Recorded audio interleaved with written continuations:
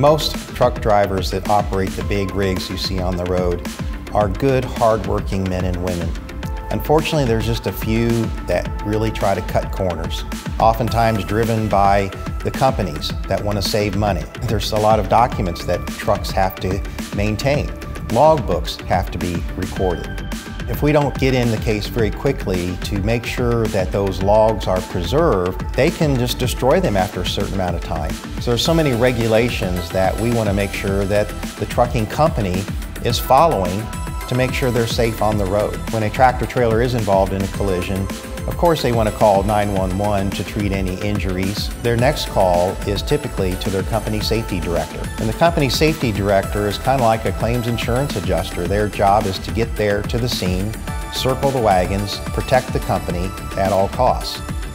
Their job is not to look out for you being hurt, so it's important for you to have someone on your side with the same level of experience in dealing with these claims as the representative for the trucking company. When you're rushed to the hospital after a collision, your medical team is working hard to get you back on track from your injuries.